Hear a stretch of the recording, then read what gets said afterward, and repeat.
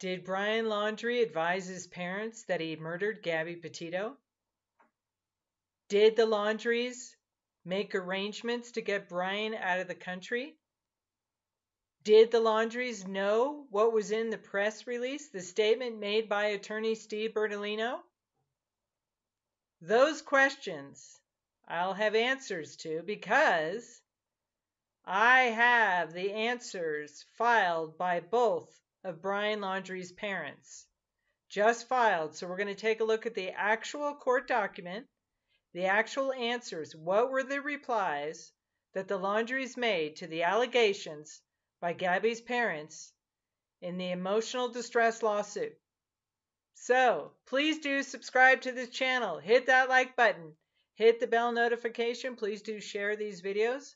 And please do leave a comment or question. I want to know what your analysis is because this is simply my analysis, simply my opinion, and it's for education and information purposes. Okay, so in case you popped onto this channel, Gabby Petito's parents, Joseph Petito and Nichole Schmidt, are suing Brian Laundrie's parents, Christopher Laundrie and Roberta Laundrie, for intentional infliction of emotional distress. They are seeking more than $100,000 in damages. Why? Because Gabby's parents allege that Brian had advised his parents that he had murdered Gabby Petito and that the Laundries did not tell, did not provide any information to Gabby's parents as to her whereabouts or what happened to Gabby Petito. Gabby's parents claim that they had reached out many times to get information from the Laundries Gabby's mom alleges that Roberta Laundrie blocked her on Facebook, wouldn't respond to her calls or texts, and that Gabby's parents allege that Brian's parents were assisting, or allegedly, all of these are allegations, were making arrangements to get Brian Laundrie out of the country. And because they withheld information and because they issued that statement saying expressing their hope that Gabby Petito would be found and reunited with her family, that that turned out to be false, is what they claimed in their motion to dismiss, and that all of that withholding information and not providing information caused Gabby's parents severe emotional distress. Therefore, they're entitled to be compensated for the damages. So, let's take a look, and this might be I'm going to try to simplify this as much as possible, so please do leave your questions if you have them in the comments, okay?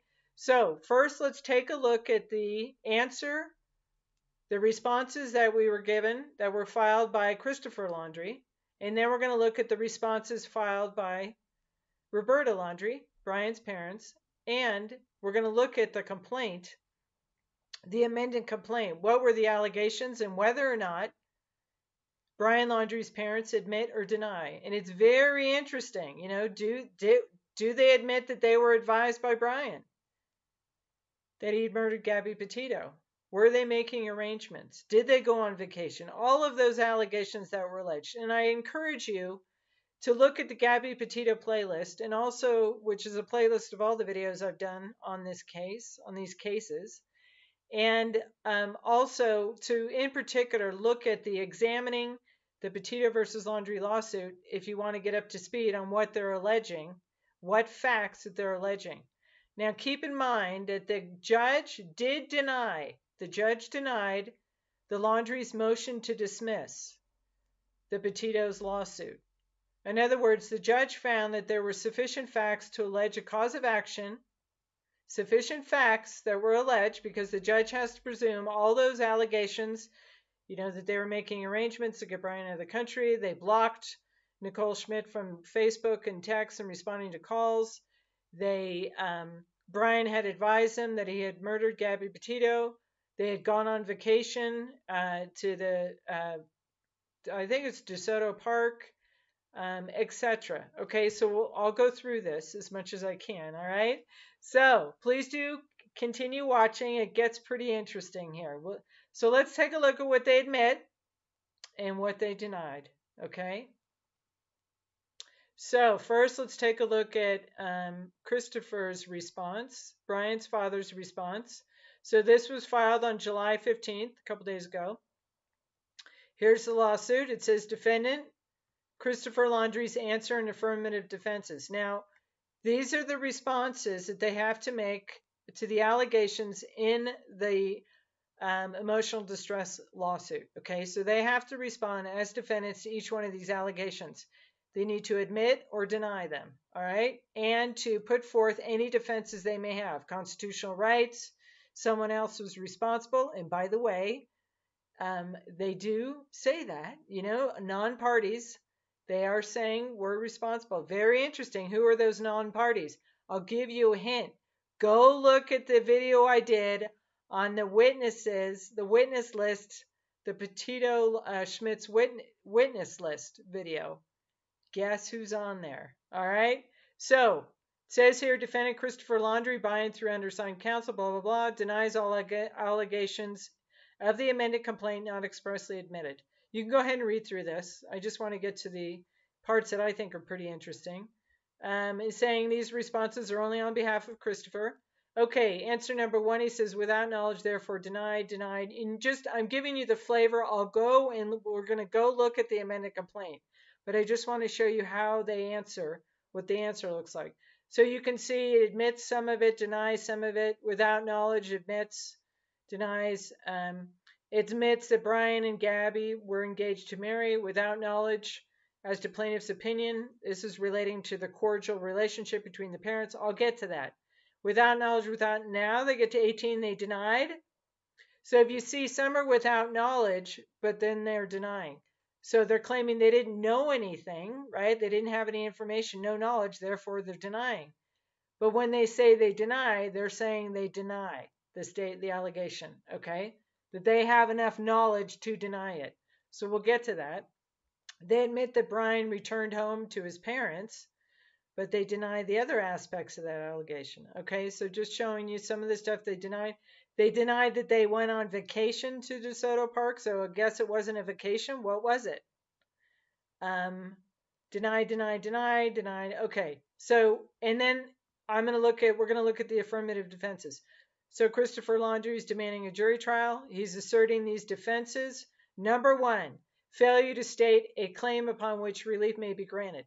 The amended complaint fails to state a claim upon which relief may be granted, does not allege sufficient facts. Well, the judge found otherwise, right? Because the judge denied the motion to dismiss. The judge found there were sufficient facts, but they're going to go ahead and they can allege this. They're saying that Christopher Laundrie had no duty due or owing to the plaintiffs to do anything, right? To any to respond to any any of the requests from Gabby's parents. And they're also saying Christopher for Laundrie's conduct was not outrageous. Their second defense, it, it was the illegality of third parties, not the Laundries, not Christopher Laundrie. Who are these third parties that caused the alleged damages? Take a look at that video on who's on the witness list. Third defense, non they're saying the actions of non-parties. That means people who aren't named in this lawsuit. So it's not the Laundries, it's someone else were the proximate cause of the alleged damages. Who could that be? Fourth, absence of intent and malice. They're saying the conduct on behalf of Christopher Laundrie was neither intentional nor willful and lacked malicious intent. And by the way, this is pretty much the same thing that's in Roberta Laundrie's answer, but I'll show you that in a second. Fifth offense, they're saying that the conduct of Christopher Laundrie confirmed with all state and federal laws. In other words, he didn't break any laws by maintaining his silence. Sixth defense, controlling law. They're saying that all defenses and presumptions benefit Christopher Laundrie. They're also saying um, that Christopher Laundrie can assert and invoke his constitutional rights. Remember, the right to remain silent, not not be compelled to talk to anyone, not compelled to respond to Gabby's parents' inquiry. I mean, I know this is a terrible tragedy for both families, but legally it's pretty interesting, this case. At least it is for me. All right. So, and for you, because I see many of your comments and questions. Okay, mitigation of damages. They're saying that the plaintiffs, the Gabby's parents, suffered no damages, and if they did, they failed to mitigate their own damages. Very interesting. And they're also, Christopher Laundrie is reserving his rights to amend the list of defenses, in other words, add additional defenses and or amend this answer, depending on what other information comes out. All right, so now let's take a look at, um, let's look at Roberta's real quick, and then I'll get to the specifics of what they said. Um, so here is Roberta's. So again, Roberta filed a similar answer. But if you, a couple of these counts relate to Roberta in particular. In other words, one of the counts is that Roberta blocked Nichole Schmidt um, from Facebook and getting any responses to texts or calls. So again, Roberta uh, denies all the allegations except for those that she admits. You can go ahead and look at this. She's responding only on behalf of Roberta Laundrie. Blah, blah, blah. You can see again, similar to what Christopher Laundrie did. with that knowledge, therefore denied. Saying they don't have information, so they're denying it. Blah, blah, blah. You can see that she admitted. Number six, we'll get to that. Denies a lot because didn't have knowledge. 18, she also denies, just like Christopher Laundrie. 20, same answer as Christopher Laundrie, admitted that Brian returned home. Same answer on 23, she admitted that they went to DeSoto Park. It wasn't a vacation. Again, she admits the same thing uh, or denies on 26 and 30, 31, 32, blah, blah, blah. I'll get to the specifics. I just wanted you to see this. Okay, her defenses, same, same as Christopher Laundrie, failure to state a claim. Um, they didn't uh, allege sufficient facts to support a claim for emotional distress. Third parties caused the damage. Actions of non parties caused the damage. The Laundries weren't the proximate. There's no intent, malice, blah, blah, blah. You can go ahead and look at this. They're invoking, she's also invoking her constitutional rights.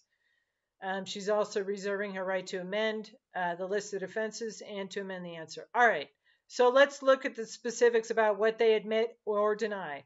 All right, so uh, number one, this action for damages exceeds 30,000. They both deny it because they don't have knowledge of the damages, okay? So generally they're denying number one. Number two, three, four, and five, they are denying, uh, they don't have sufficient knowledge, so they're denying. I want to get to the ones that are interesting. They do admit to number six that Christopher Laundrie and Roberta Laundrie are residents of North Port, Florida, and their parents are Brian Laundrie deceased. So they admit that as a fact. Okay. Number seven, they also admit that Brian Laundrie and Gabby were engaged uh, to marry. Uh, they admit to that, but they don't admit, it looks like, to the date of July, on or about July 2nd. Okay, um, I'm going to increase this just a little bit here. Uh, they deny a whole bunch here, paragraphs 8 on. So they're denying um, because they're saying they don't have knowledge of when Gabby and Brian left New York.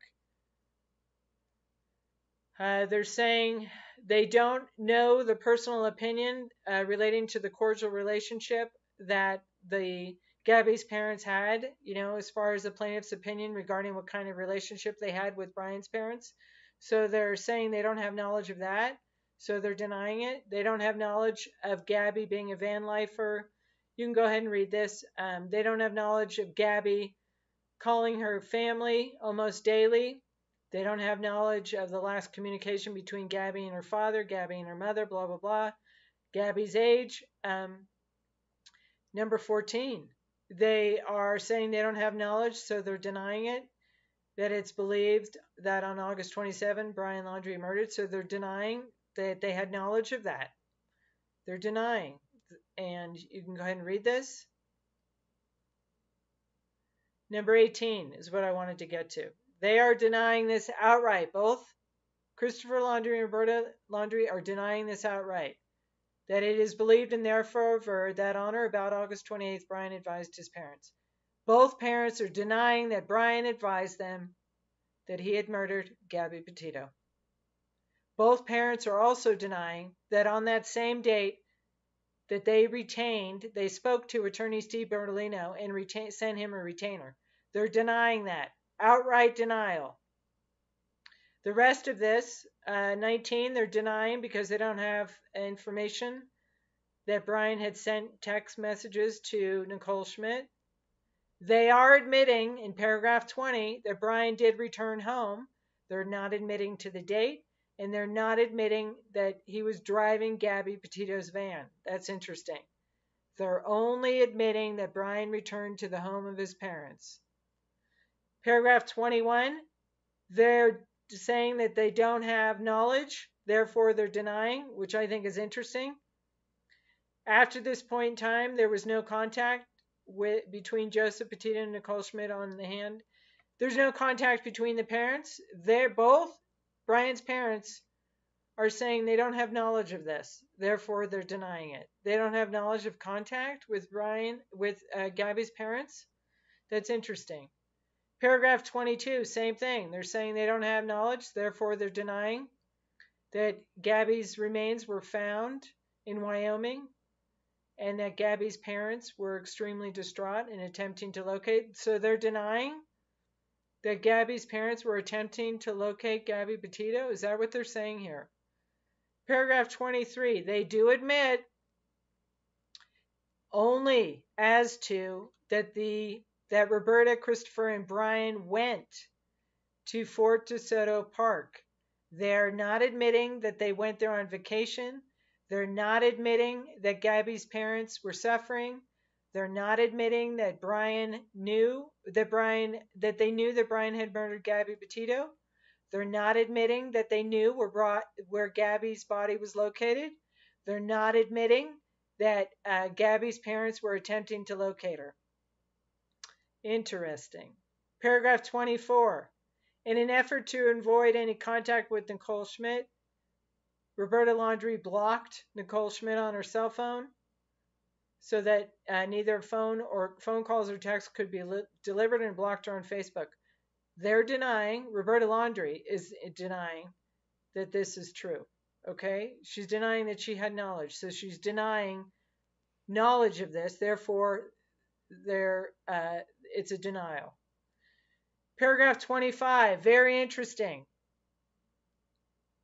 The statement that was issued by Steve Bertolino they are both uh, Brian's parents, Christopher and Roberta Laundrie, are saying that without knowledge, they have no knowledge, or without knowledge of this statement, therefore it's denied. So are they saying that they weren't aware of this statement? That they had no knowledge that Steve Bertolino was issuing this statement? They were not aware of the contents of this statement? Is that what this denial is saying? On September 14th with full knowledge that Gabby Petito had been murdered.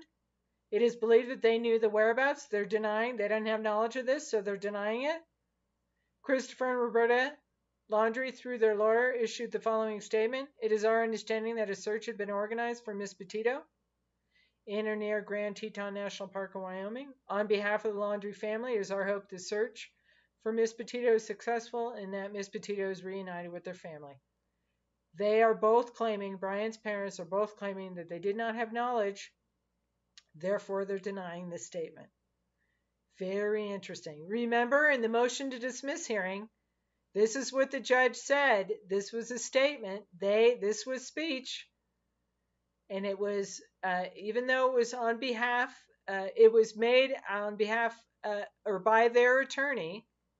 Therefore, the judge found that the attorney being agent of the Laundries, that this statement, and in fact it says, um, it is our that on behalf of the Laundrie family, right? The judge has to assume for purposes of the motion to dismiss that these allegations are true, that everything in here is true in this statement. Therefore, the judge found that there was speech by the Laundries, and there and also found that there was enough uh, uh, facts alleged to find that there was sufficient facts uh, to support a cause of action for emotional distress. Therefore, the judge denied the motion to dismiss. Well, here's the answer that's made by both Christopher and Roberta Laundrie saying that they have, I guess they're asserting here that they had no knowledge of this statement being made by Steve Bertolino or the contents of it. Therefore, they're denying that what that this is true. I think that's what they're saying here in their answer. Paragraph 26, they're also denying. They're denying that they expressed their hope that Gabby Petito was located and reunited with her family at a time when they knew that she was murdered by their son was beyond outrageous. They're denying that they knew. They're denying that what they did was outrageous. Paragraph 27. Um, here's the letter that Gabby's parents issued to Christopher uh, to Christopher and Roberta Laundrie to Brian's parents. They're also both Roberta and Christopher are saying they had without knowledge, therefore they're denying this allegation. Are they saying that they never got the letter from Gabby's parents? Are they saying that they never got this letter where they're asking for help to find their beautiful daughter? We ask you, you put yourselves in our in our shoes. We haven't been able to sleep or eat. They're saying, are they saying in their answer here that they never got this letter? That's why they're denying this. Paragraph 28, 29, they also deny because they're saying without knowledge, they deny it. Um, they have no knowledge that I guess that Joseph Petito and Nichole Schmidt implored them to tell them if their daughter was alive or where her remains were located. Are they saying that that never happened? They have no knowledge of that? Paragraph 29, Christopher and Roberta Laundrie instructed all that all contacts were to be made through their attorney, Steve Bertolino, and he issued a no comment when asked about Gabby Petito's well-being. They're also saying that without knowledge they're denying. So are they saying they had no knowledge that Steve Bertolino issued a no contact or that he was acting on their behalf? Is that what they're saying here? I don't know. What do you think? Paragraph 30 and 31, Christopher, um, let's see, while Joseph and Nichole Schmidt were desperately searching for information concerning Christopher and Roberta Laundrie were keeping the whereabouts of Brian secret. Both parents deny that, and it's believed that they were making arrangements for him. Both parents deny that they were making arrangements for Brian to leave the country. Paragraph 31. Both parents deny this paragraph too. They deny that they knew of the mental suffering of Gabby's parents. They deny that such mental suffering and anguish increased each day that Gabby was missing. They deny that they knew that they could prevent additional mental suffering by disclosing what they knew about or the well-being, the whereabouts or well-being and location of Gabby Petito. They're denying that they refused to do so. They're denying that um, they acted with malice and great indifference to the rights of Joseph Petito and Nichole Schmidt. That's what a denial means. Okay? These were not, you know, without knowledge denials. These were out and out denials of these facts alleged in paragraph 30 and 31. They didn't keep Brian Laundrie's uh, whereabouts secret. They didn't make arrangements for him to leave the country. They didn't know about the mental suffering by Gabby's parents. They didn't uh, refuse to assist Gabby's parents. I think that's what that's saying. They didn't act with malice or indifference. Paragraph 32, they also outright deny that they exhibited extreme or outrageous conduct in their behavior. They also deny each one of these subparagraphs. They deny that they failed to advise Gabby's parents that Gabby Petito was deceased. They deny that they failed to disclose the location of Gabby Petito's body. They deny that the family was taking a vacation with their son, Brian Laundrie, who had murdered Gabby Petito, while Gabby's parents were desperately seeking her whereabouts. They deny D. They deny blocking access to her cell phone to preclude Joseph and Nichole Schmidt from getting information. I think that relates to the count against Roberta Laundrie. They also denied that they issued a press release expressing hope, quote, hope that the search for Gabby for Miss Petito is successful and that Miss Petito is reunited with her family, knowing full well that Gabby Petito was deceased. They deny that. They deny that they issued that press release statement. Christopher Laundrie denies paragraph 33 and 34. 34, he denies um, that he was a direct or proximate result of causing pain and suffering to Joseph Petito. You can go ahead and read this. Roberta Laundrie denies paragraph 35 and 36 that is a direct result um, direct and proximate result of uh, willfulness and maliciousness of Roberta Laundrie, Joseph Petito suffered pain and suffering. Roberta Laundrie denies that as well. Christopher Laundrie, paragraph 37. he denies in 38, he denies that he was a direct and proximate result, caused Nichole Schmidt to suffer pain and suffering, etc. Roberta Laundrie denies outright, paragraph 39 and 40, that she caused any mental suffering to Nichole Schmidt. Okay, so that's what we know in their answer. They weren't advised, both Brian's parents deny that they were advised that he murdered Gabby Petito. Both parents deny that they uh, made arrangements to get Brian Laundrie out of the country. Both parents deny that they caused any mental suffering to Gabby, par- Gabby Petito's parents. Both parents deny the amount of damages, right? And more. So you can go ahead and take a look at that uh, amended complaint. You can look at the examining uh, the Petito versus Laundrie lawsuit and the several videos I've done on the amended complaint and take a look at the witness list at who are those non parties, who are the third parties that the Laundries, both the Laundries allege, were the cause of the mental suffering, the emotional distress that was endured by Gabby Petito's parents. Take a look at the witness lists by both parties. Look at those videos. Okay, so I hope that vi this video has been helpful to you. I hope it made sense. so please do leave a comment or question. I want to know what your analysis is. And please do hit that like button give me a thumbs up and please do uh, share these videos and hit the bell notification. And please do subscribe. Please do support this channel by subscribing. Thank you very much for watching.